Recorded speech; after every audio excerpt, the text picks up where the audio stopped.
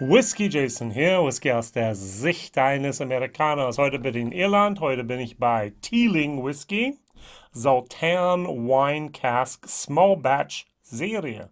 46% non-chilled filtered, ähm, kein Farbstoff hinzugetan, sehr, sehr gut. Allerdings hier drauf steht auch zu Recht Irish Whiskey und nicht Single Malt Irish Whiskey, ein Blend.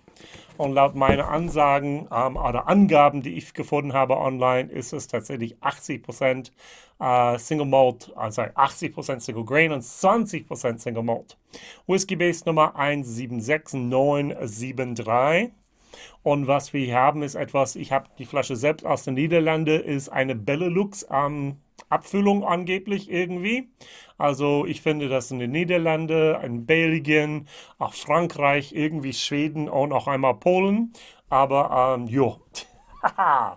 Was ich nicht wusste, ist, ich dachte, dass es der Bordeaux-Region in Frankreich gäbe und ich dachte, es gäbe eine Sautern-Region, aber offenbar ist das hier von mir falsch gedacht, denn auf der Rückseite steht hier drauf, also unsere, wo ist das hier, unsere zweite Abfüllung ähm, hat einen Fokus auf Sautern-Wein als der aus der Region Bordeaux in Frankreich und fängt damit die einzigartige ähm, Einfluss von diesen Ex-Weiß-Desert-Wein-Fässern und spielt weiter bei unserer Reifung in unserer Flagship, in unserer Prestige-Reihe als Small Batch Blend. Benutzen sogar das Wort Blend hier. Gut. Also, sehr, sehr schön. Wie viele Flaschen? Ist es 600, 6000, 60.000? Keine Ahnung.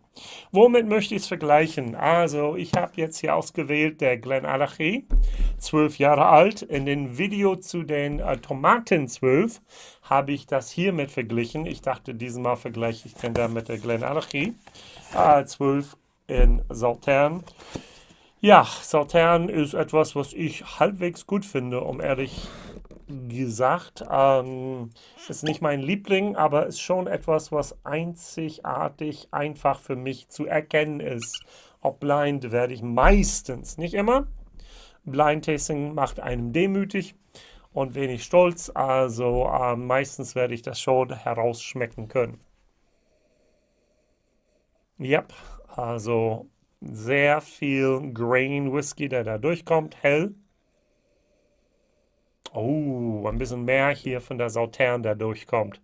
Also die Fässer hier waren eindeutig ein bisschen nasser. Ja, auch nach meinen Angaben online ähm, wurde der Single Grain wie auch der Single Malt hier gereift in Ex-Bourbon-Fässern. Fünf bis sechs Jahre bekam es anschließend auch eine 3,5 äh, Jahre lange Finish in diese Sautern-Fässern, damit es eine fünf bis neun Jahre Gesamtreifung gab. Es ist ein bisschen staubig, was ich hier an der Nase habe. Staubig, also wer schon einmal ein Single Grain hat, der weiß, dass es ein bisschen Maisstaub gebe, denn da das malzig. Langsam kommt dieses äh, Sautern-Momente hier durch. Es ist relativ gut ausgewogen zwischen Fass und zwischen Distillerie-Charakter hier. Wobei, Teeling kann keine eigene Grain produzieren, sondern nur Single Malt an den Pot Stills. Und ähm, das wurde wahrscheinlich gar nicht, wenn es da schon sechs Jahre alt, gar nicht produziert in Dublin. Es wurde zwar in Irland produziert, aber nicht in Dublin.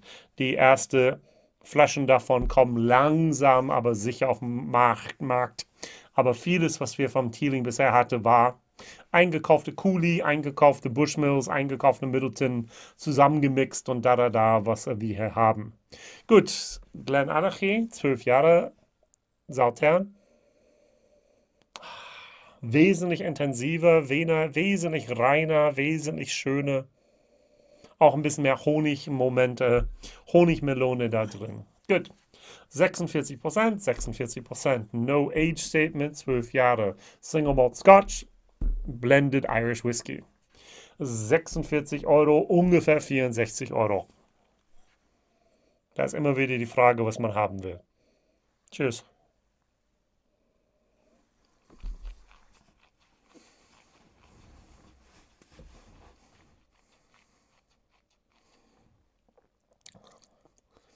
Okay. Der wirkt ein bisschen jung und der wirkt ein bisschen scharf. Diese Grain, du kommst durch. Jetzt kommt ein Sautern-Moment. Schön. Bisschen süß, bisschen Säure, ein bisschen ähm, trocken, nicht so süß.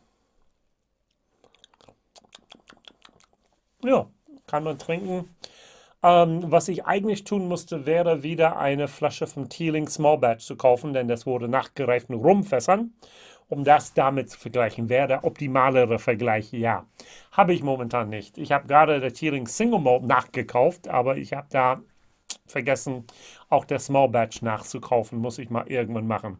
Vieles macht Teeling richtig, aber die werden jetzt hier meiner Meinung nach eine, eine Stolper, eine, wie heißt das, Stolperstrecke ist nicht richtig, eine holprige Strecke vor sich haben, ähm, während der Transition, während, während der Übergang hier zu deren eigenen Juice. Das, was sie in den ähm, Lagerhallen haben, ist zum Teil jetzt ein bisschen älter geworden, weil halt eben schwierig ist, nach neues Zeug nachzukaufen. Cooley gibt es praktisch nicht mehr, das gehört Beam, die verkaufen das nicht an Teeling. Bushmills gehört Mexikaner, die verkaufen das auch nicht an Teeling. Middleton hat sowieso kaum was am Teeling verkauft. Wo man jetzt Whisky kriegen kann, ist Great Northern Distillery, das ist Papa. Das ist der John Teeling. Hier auf der Unterschrift steht hier Jack Teeling, der Sohn. Äh, da kriegt man sein Grain her, da kriegt man sein Malt her. Aber das Zeug ist auch vier bis fünf Jahre erst alt und diese Lücke dazwischen wird schon schwierig sein, ähm, auch das mit dem Übergang gut immer hinzukriegen.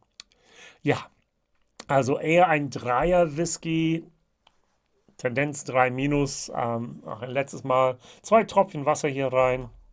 Und dann gehen wir zu Preis-Leistung. Preis-Leistung 46 finde ich immer noch ein bisschen viel dafür.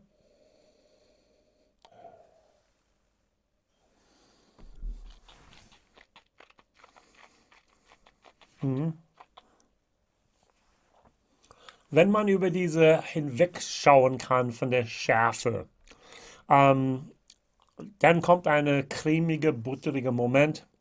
Bisschen Pfeffer, bisschen süß, bisschen Säure ein bisschen Eiche, dann kann man sagen, diese Whisky ist okay. Also drei Tendenz Richtung 3 minus, so schlimm werde ich nicht so sein. Ähm, aber preislich 46 Euro, auch da eher ein 3 minus hier. Nicht unbedingt der beste Whisky der Welt, aber eine interessante Whisky. Es gibt Leute da draußen, die einfach Irish Freaks sind. Wenn es Irish ist, kaufen Sie. Bam, das kann man mit gutem Gewissen dafür kaufen. Wer allerdings nach einer Sautern geprägte Whisky sucht, ist wahrscheinlich mit äh, Glenmorangie, äh, Nectar d'Or einfach besser aufgehoben. Ist vielleicht dann da mit einem Glenarchy hier besser aufgehoben.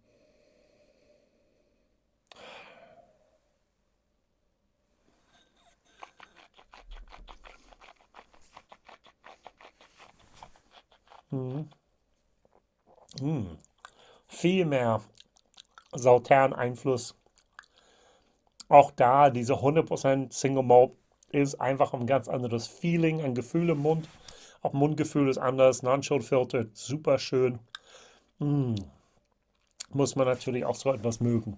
Gut, das war mein Vergleich für heute. Also ein 3, Tendenz 3 minus. Preislich sind wir auch bei einer 3 minus, Tendenz 4 plus. Teeling, ja, Liebe und ab und zu mal ein bisschen so ähm, ärgert mich Teeling denn da mit deren Pseudo-Transparenz, aber das ist eine andere Geschichte. Wer mehr darüber hören will, geh mal zu der, ähm, oh, die Flasche habe ich noch hier, zu der Teeling Birthday Batch, wo kein fünfjährige alte Whisky da drin, obwohl fünf, fünf Jahre hier drauf steht. Also, ähm, das ist ganz was anderes, aber gut, gut, gut. So ist das. Auch keine Fassstärke und so weiter. Bin ich nachtragend? Nein. Bringe ich Sachen aus der Vergangenheit einfach ein bisschen hervor? Manchmal ja. Okay. Liken, abonnieren, teilen meiner WhatsApp-Flaschenteilung-Gruppe werden. Dort wurde das gänzlich verteilt, das wurde dort gänzlich verteilt. Der Link ist unten in der Beschreibung. Es gibt mittlerweile drei Gruppen davon und ein vierte für meine Superfans, die zuerst immer eine Stunde Vorsprung darauf haben. So von daher, so ist das, wenn wir ein paar, viele Leute haben, die gerne auch dabei mitmachen wollen. Ich bedanke mich, wir sehen uns jeden Tag 17.30 Uhr und Sonntagabend 21 Uhr. Bis dahin, ciao.